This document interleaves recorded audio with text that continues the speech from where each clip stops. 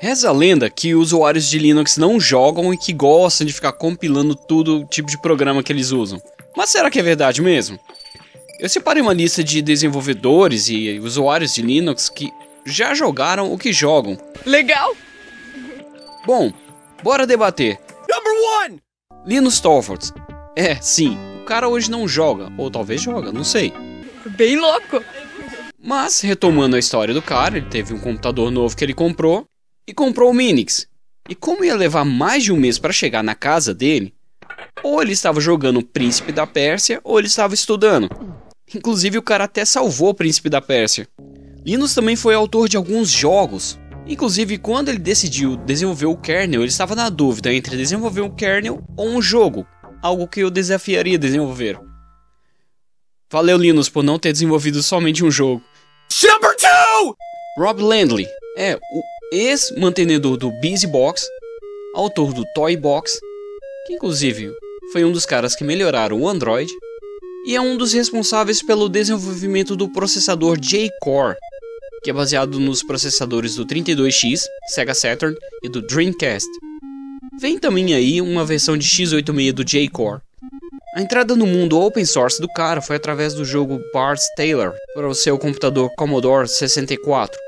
Isso antes de conhecer qualquer Unix ou qualquer outro mundo open source ligado ao GNU. Pois é, galera, GNU e Unix não é o único mundo open source que existe. No mundo Windows também já existia isso. Number three! Douglas Burdogs é, é o autor do livro Raid the Wireless Empire. O cara é o autor de uma distribuição Linux voltada a pentest, desenvolvedor PHP, é um dos caras fortes no mundo de pentest, DJ, criador de coelhos e um baita gamer. Number four! Tem o Felipe, que desenvolveu o avatar do meu canal e gosta do Game Boy Advanced.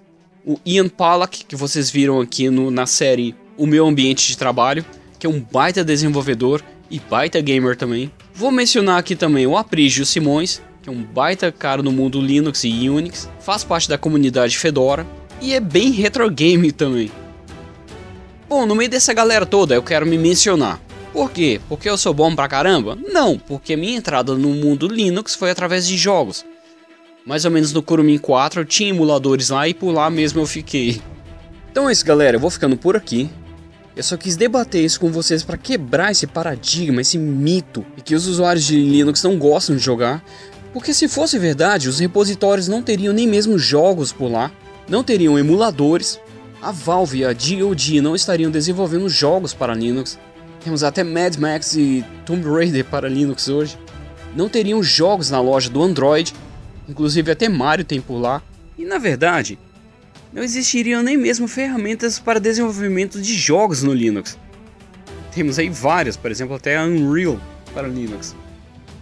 E eu finalizo com a frase de Linus. Ele falou que o problema de quem joga é que eles só param por aí.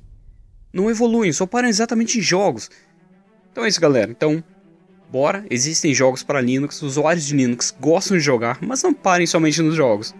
Vamos continuar estudando também, beleza? É isso aí, um abraço e falou!